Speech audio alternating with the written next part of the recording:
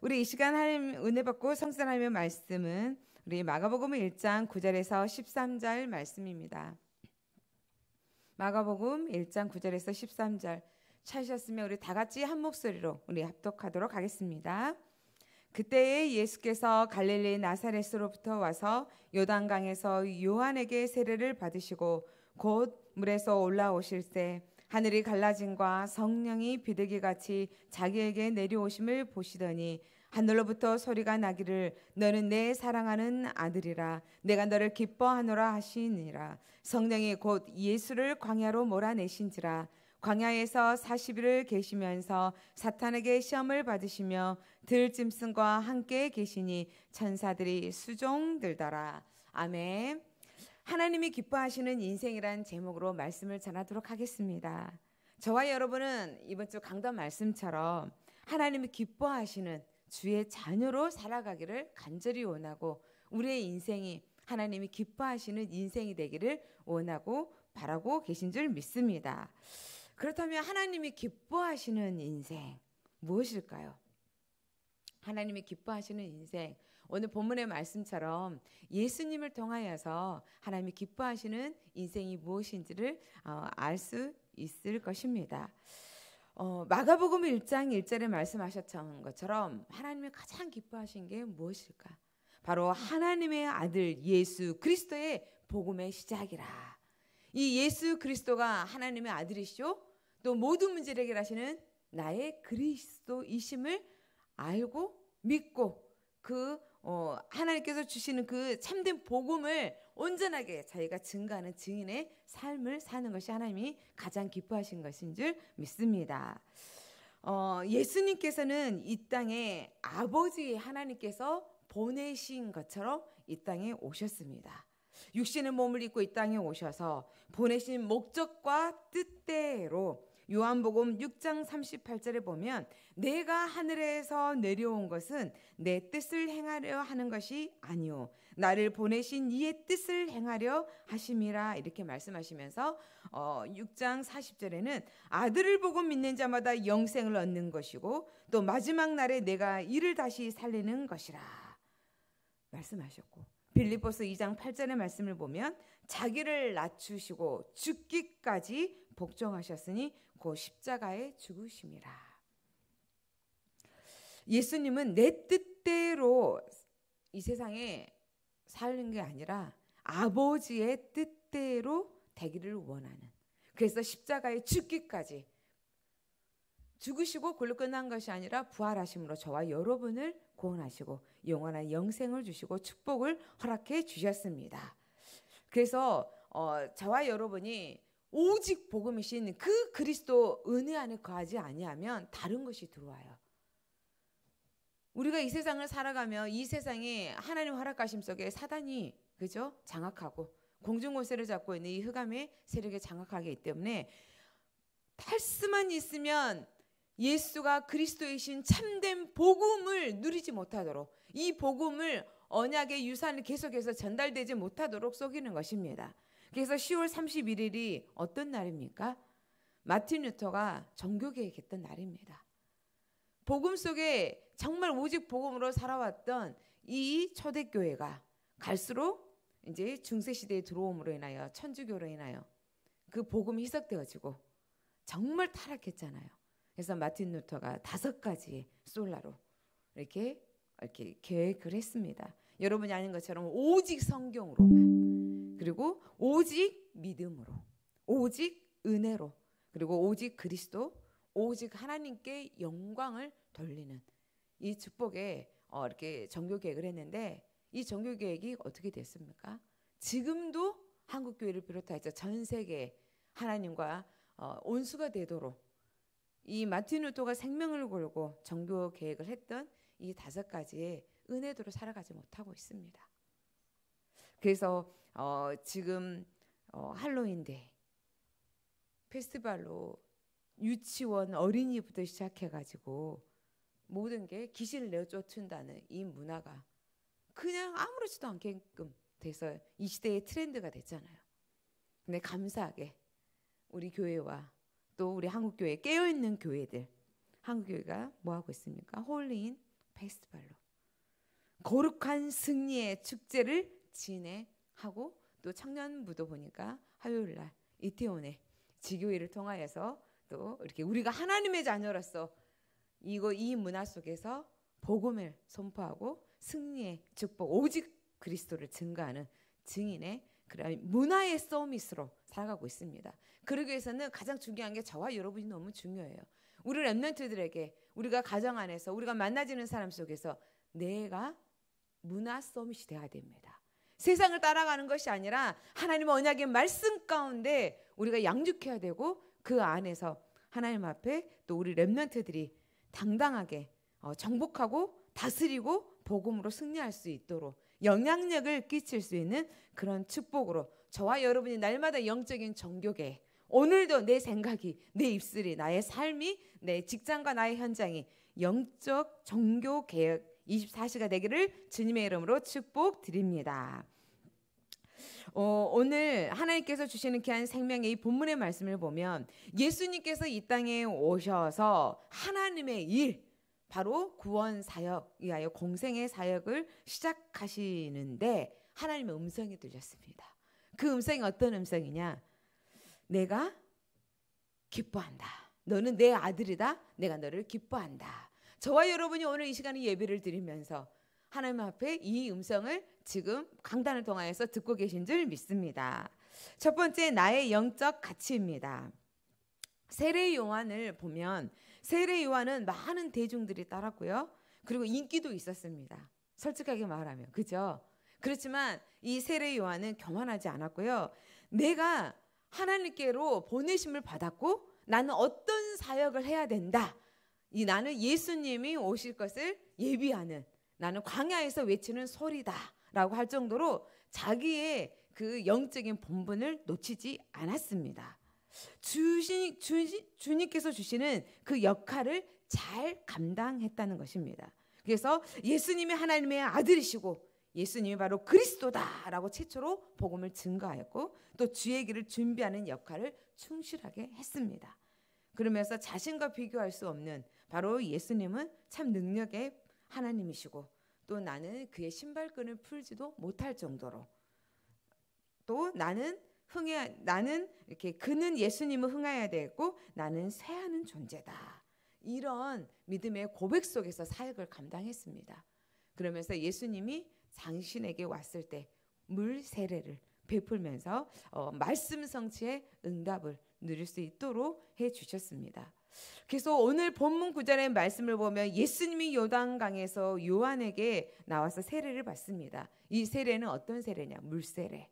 한마디로 말하면 회개의 세례입니다.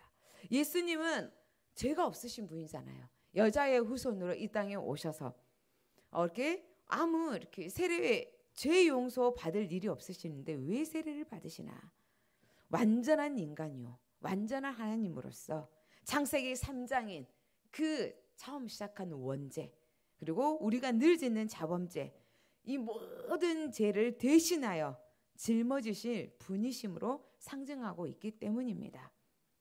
그래서 요한복음 1장 29절을 보면 세례 요한이 예수님에게 뭐라고 말씀하시냐? 나온 모습을 보면서 보라 세상 죄를 지고 가는 하나님의 어린 양이로다. 첫사람 아담이 범죄로 모든 인간의 죄와 조주에 빠져 멸망길로 갈 수밖에 없는 우리 인생, 우리 이물은 절대로 해결할 수 없는 걸 아시고 바로 예수님이 어린 양이 되어 주셔서 희생 바로 제물이 되어 주셔서 우리의 모든 죄를 짊어 지시고 십자가에 죽으심으로 말미암아 우리의 모든 죄를 다 용서해 주셨습니다. 그래서 그 사역을 예표하기 위하여서 세례를 받으러 오신 것입니다. 그런데 예수님의 세례를 받으시고 물에서 올라오실 때 뭘 보게 하셨냐? 바로 성령이 하늘이 갈라지고 성령이 비둘기 같이 임하여 또 하나 하늘로부터 음성이 들리는 이 어, 축복을 하나님 허락해 주셨습니다. 이걸 통하여서 성삼위 하나님, 말씀이신 성부 하나님, 그리고 이 땅에 육신의 몸을 입고 오셔서 그 하나님의 소원, 하나님을 가장 원하시는 구속 사역을 위하여서 오신 바로 어, 예수 그리스도 그리고 성령이 비둘기 같이 임하여서 임하신 바로 성령의 성삼위 하나님의 임재가 있었습니다. 내 사랑하는 아들이다라고 이 말씀 속에는 철장 권세로 온 세상을 다스리시는 왕으로 예수님께서 이 땅에 오시고 그리고 우리의 모든 죄를 짊어지시는 고난의 종으로 오셨다고 또 이렇게 선포해 주시고 그러면서 모든 의감의 권세가 예수의 이름 앞에 꿇게 되어지고 모든 죄의 짐을 도말하셔서 우리에게 참된 생명, 참된 해방, 참된 회복, 재창조의 축복을 여셨다고 말씀하고 있습니다. 그래서 예수가 누구냐? 메시아. 구원자이신 메시아입니다. 우리가 생각할 때 하나님은 사랑의 하나님이신데 굳이 예수님을 꼭 십자가에 이렇게 피 흘려 죽게 하시면서 우리를 구원하셔야 되냐? 그냥 용서해 주시면 되는데 하나님은 사랑의 하나님이시지만 또 하나님은 공의의 하나님이십니다. 그래서 죄를 지으면 그 죄의 대가를 반드시 치러야 하고 그 죄를 용서를 해야만 하시는 것입니다. 근데 히브리서 9장 22절에 하반절에 보면 피 흘림이 없은즉 제사함이 없다.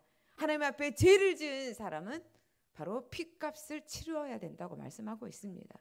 그래서 우리 인간은 절대로 할수 없기 때문에 예수님께서 하나님이신 예수님께서 그 피를 흘리시고 죽으심으로 우리의 모든 죄를 용서해 주셨습니다. 그래서 예수 그리스도를 내 인생의 주인으로 모시는 저와 여러분은 하나님의 자녀입니다. 그래서 하나님께서 가장 기뻐하신다고 말씀하고 계십니다. 그래서 우리에게 뭐라고 말씀하시냐면 내가 너를 사랑한다. 내가 너를 기뻐한다. 너는 나에게 최고 존귀한 존재다라고 오늘 우리에게 말씀해 주십니다. 이것보다 더 좋은 게 어디 있겠습니까? 이 세상을 창조하신 하나님이 우리 하나님이시라고. 능치 못할 일 없으신 그 죄와 저주와 사단과 우리의 모든 지옥 형벌까지도 완벽하게 끝내신 그 하나님이 우리의 아버지가 되시고 나의 하나님이 되셔서 여러분들의 인생을 과거, 현재, 미래 완벽하게 해결해 주셨다고 말씀하고 계십니다. 그래서 우리에게 하나님이 두려워하지 말아라. 네가 누구냐? 너는 바로 나의 최고의 존재 가치다. 그래서 보여지는 걸 속지 마. 사람들의 말에 들려지는 걸 속지 마. 내가 너를 나의 생명을 내어 바치면서까지도 너를 구원하고 너를 사랑하는 자녀다라고 말씀하셨습니다. 그래서 우리가 이것보다 더 중요한 말씀 어디 있습니까? 근데 우리 안에서 다른 음성을 듣고자 하는 건 내려놓으시기 바랍니다. 다른 음성이 바로 뭐예요? 담임 목사님 그런 이야기 하셨잖아요. 물질을 주옵소서, 건강하게 해 주옵소서, 내 자녀 잘 되게 해 주시옵소서. 우리가 음성 듣고 하고 싶은 게요. 창세기 3장 6장 11장이잖아요. 그리고 그 음성 듣고 또 내 상 내 환경 속에서 그러한 것들이 일어나면 최고 응답받았다고 기뻐해요. 근데 우리가 이런 하나님 앞에 내가 너를 사랑한다. 내가 너를 기뻐한다. 그럼 감사해요 아버지. 딱 고백은 하지만 뒤돌았으면 문제가 딱 닥쳐오면 그건 필요 없고 그건 필요 없고 아버지 이거요 이거 빨리 이거 해 주세요. 그게 우리의 모습이에요.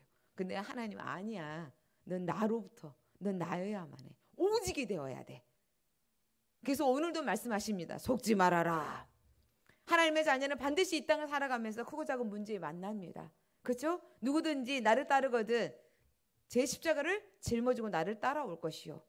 저와 여러분이 정말 하나님이 원하시는 말씀대로 하나님이 원하시는 구성 사역을 위해서는 때때로는 우리가 가정을 통하여서 가문을 통하여서 내 질병을 통하여서 자녀를 통하여서 이 모든 것들을 통하여서 하나님 우리를 다루시고 만들어 가십니다.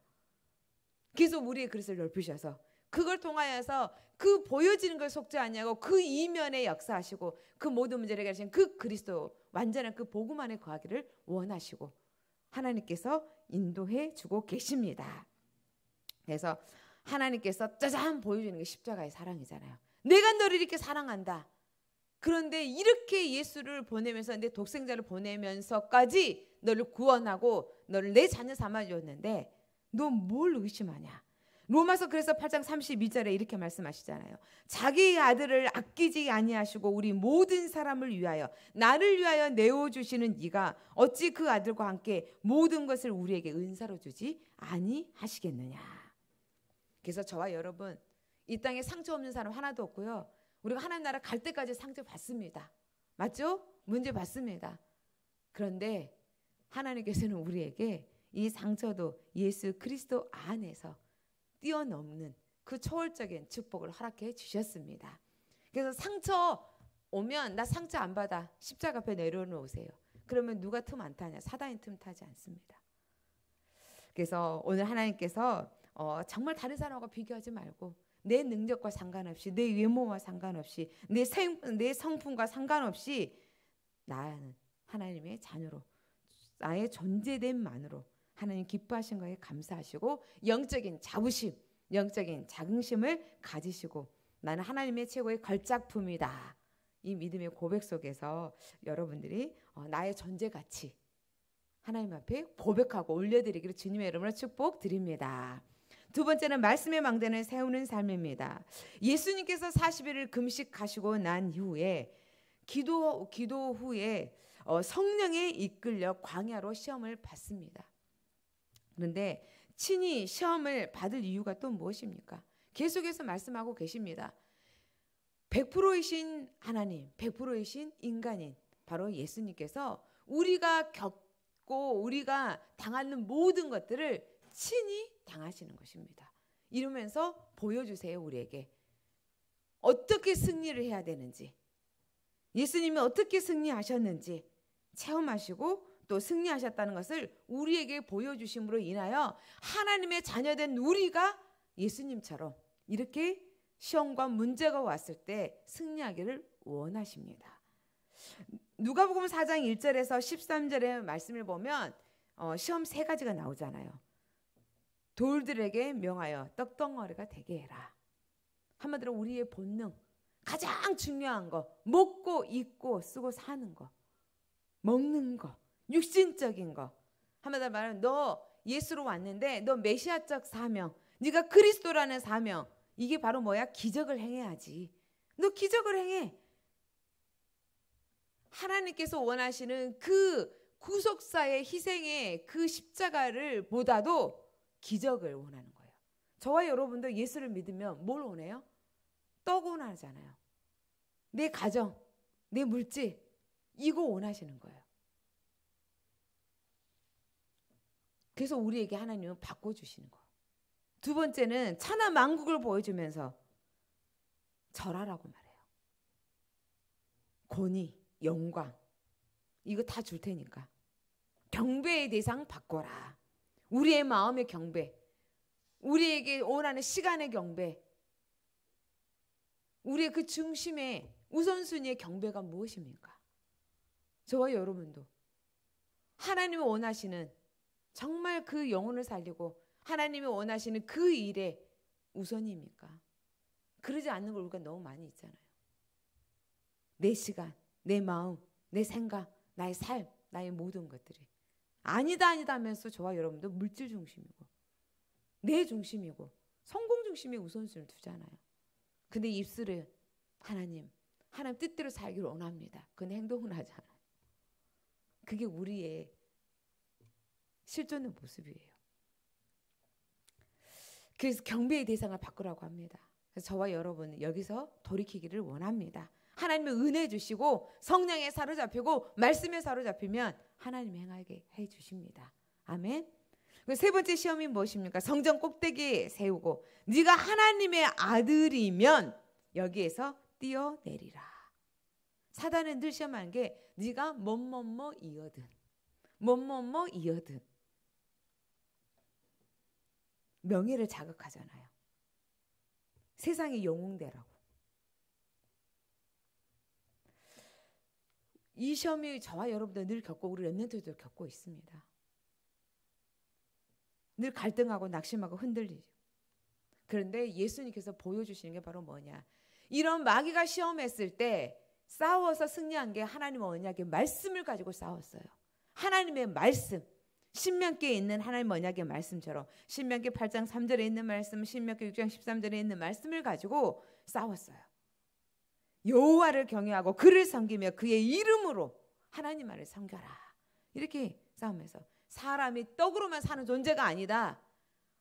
하나님의 입으로 나오는 그 생명의 말씀으로 말미암아 영혼의 양식인 그 말씀으로 싸워 승리한다. 왜요? 말씀이 하나님이시잖아요. 말씀이 생명이잖아요. 말씀이 그리스도잖아요. 그래서 어, 우리에게 하나님께서 뭐라고 말씀하시냐면 요한 1서 어, 2장 14절에 하반절에 이렇게 말씀하고 있어요. 하나님의 말씀이 너희 안에 거하심에 너희가 흉악자를 이겼음이라. 말씀이 하나님이 그 말씀이 우리 안에 들어 있고 이 말씀이 그리스도잖아요. 그래서 흉악자 흑암의 조제 세력을 꺾고 우리에게 보여지는 게 문제 속에서 있는 게 다가 아니라 그 이면에 문제가 올 수밖에 없도록 속에는 영적인 존재가 있다는 거예요. 영적인 세계, 바로 흑암의 세계. 그래서 우리에게 그 하나님의 언약의 말씀으로 싸워서 승리함으로 인하여 하나님 우리에게 예배소서 6장 11절에 말씀하신 것처럼 마귀의 관계를 깨뜨리기 위하여 하나님의 전신 갑주를 입으라. 그러면서 17절에 에베소서 6장 17절에 성령의 검 하나님의 말씀으로 말미암아 싸우라고 하는 거예요. 그래서 여러분들이 보여지는 것, 들려지는 것, 내 속에서 여러분들 심령 속에서 막 불과 같이 일어나고 여러 가지 문제가 갈등이 일어나서 낙심게 되어질 때 거기에 속지 말고 그 부분에 강단의 말씀 붙잡고 또 하나님이 주신 언약의 말씀을 붙잡고 내 생각 속에서 하나님의 말씀을 가지고 싸우시고 내 심령 하나님의 말씀을 가지고 싸울 때 흑암이 떠나가고 그 말씀으로 말미암아 내 안에 그리스도의 빛이 임하고 힘이 생겨나고 그러면서 하나님이 행하실 일들이 기대가 되어지고 또 그 말씀이 힘이 되어서 치유되어지고 능력이 되어집니다. 그래서 날마다 말씀을 붙잡고 나아가기를 주님의 이름으로 축복드립니다. 내 마음이 무엇으로 뜨거워질 건가? 내 마음이 무엇으로 상처로 뜨거워질 건가? 염려로 뜨거워질 건가? 저와 여러분이 하나님의 언약의 생명의 말씀으로 뜨거워지기를 원합니다. 하나님의 말씀이 내 심령에 들어갈 때 불과 같이 임하고 그 말씀이 나의 삶에 하나님 불과 같이 이루어지기를. 그래서 하나님의 언약의 말씀의 망대가 저와 여러분에게 든든하게 세워져서 다른 것이 아니라 하나님 언약의 말씀으로만 우리가 무장되어지고 또 이 말씀을 가지고 영적인 영향력을 입힐 수 있습니다. 그래서 어디를 가나 현장을 가나 어디에 가나 하나님 언약의 말씀으로 승리하시는 주님의 귀한 축복의 증인들이 되시기를 주님의 이름으로 축복드립니다. 결론입니다. 실천적 무신론자가 되지 말자라고 하셨습니다. 실천적 무신론자. 생각으로는 믿어. 그 이론적으로도 믿어. 하나님을 믿지만 하나님의 계심을 우리가 알고 있지만 실제 나의 삶의 현장 속에서 하나님 없이 하나님과 상관없이 살아가는 자. 제가 이 말씀을 말씀할 때 결론을 말씀을 딱 묵상하면서 딱 떠올랐던 인물들이 이렇게 어, 다윗과 이렇게 사울왕이 떠오르더라고요. 다윗은 하나님 마음에 합한 자였어요. 하나님 마음에 합한 자. 늘 하나님과 함께 했던 자. 그러면서 크고 작은 모든 일을 하나님 언약의 말씀을 가지고 그러면서 또 기도의 자리로 나의 모든 현장 속에서 하나님의 말씀 붙잡고 언약 붙잡고 기도 속에서 하나님과 소통하면서 24시 살았던 인물. 그런데 사울 왕 하나님 앞에 축복 받았어요. 직분 받았어요. 왕적인 권세도 다 받았어요. 그런데 하나님 말씀 없이 문제와 환경에 살리니까 사람 눈치 보고 하나님 앞에서가 아니라 하나님이 자기를 세워놨는데 그걸 놓쳐버리고 사람들이 나를 어떻게 보지? 아, 내가 왕인데? 이름으로 인하여서. 그러면서 선지자가 사무엘이 그렇게 말했는데도 듣지 않잖아요. 듣지 않냐고. 네 잘못을 취하는데도 아, 내 백성이 나를 바라볼 때 어떻게 하겠냐. 뭐 이러면서 그러한 환경 속에서도 하나님 없이 다중심. 저와 여러분은 여기에서 벗어나서 하나님 앞에서 오늘 이 시간도 예배를 드릴 때도 기도를 할 때도 우리가 말을 할 때도 우리가 삶에 할 때도 나의 직장과 나의 학교와 나의 모든 사회 현장 안에서도 하나님 앞에서 생각도 하나님 앞에서. 그래서 이 축복을 저와 여러분이 온전하게 누려서 하나님이 원하시는 이 축복 현장 속 여러분을 가는 기간에 우리 교회와 전 우리 세계 교회 영적 성전인 우리에게 힘을 잃지 아니하고 힘이 승리하는 것이 바로 하나님 언약의 말씀으로 우리가 하나님 영적인 가치를 가지고 늘 하나님을 인정하는 삶으로 영적인 다윗이 되어지는 영적인 요셉이 되어져서 사울이 뭐라고 말해요? 사무엘상 19장 28절에 보면 여호와께서 다윗과 함께하는 계심이 사울이 보고 알았다고 나와요. 그런데 오히려 더 시기하고 질투하고 죽이려고 했다는 거. 하나님과 함께하는 사람, 말씀의 사람은요 불신자가 보면서도 인정할 정도로 또 불신자가 아닌 모든 사람 볼 정도로 인정받았던 것처럼 저와 여러분도 이러한 이 축복의 말씀의 망대를 가지고 영적인 내가 누구인가 가치를 알고 승리하기를 주님의 이름으로 축복 드립니다.